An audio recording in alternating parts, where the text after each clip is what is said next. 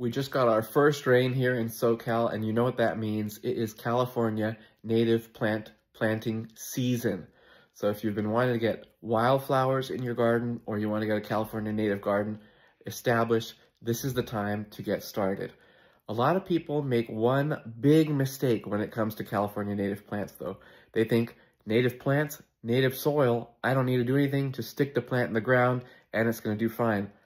Absolutely wrong okay, our California soils have been degraded immensely all over the state through colonization, through industrial agriculture, through urban development. The soil that you have in your yard is not the soil that these plants evolved to survive and thrive in, okay? So don't listen to some of these people who think that, you know, these plants will just do well wherever. No, uh, there are one, there's thousands of native plants. They all have adapted to different microclimates. California has tons of different microclimates and different soils. So you can't just put any plant in any place.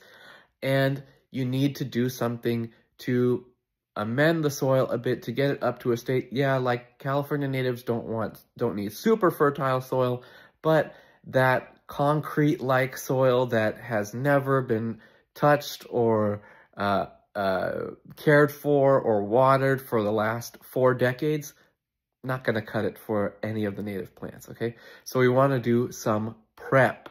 If you're trying to get the wildflowers established, you want to make sure that you've cleared out uh, any of the other invasive weedy plants that can compete with them or overtake them.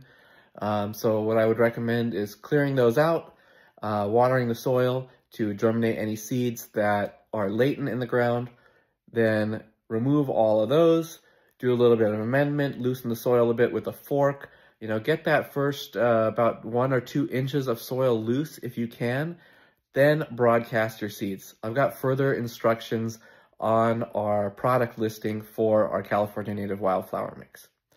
And for your perennial native plants, you want to start with an actual uh, potted plant. We've got about 40 different varieties in our nursery right now. Uh, and again, you want to apply a little bit of compost after you plant and get some mulch over the ground.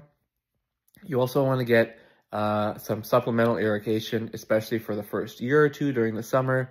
You know, these plants will survive without water through the summer once they're established, but that's the key point. You got to get them established. And lucky for you, we've got a sale on our wildflower seed mix right now we're selling in quarter pound, half pound, and one pound quantities. You need a good amount of seed to get a nice wildflower meadow garden established.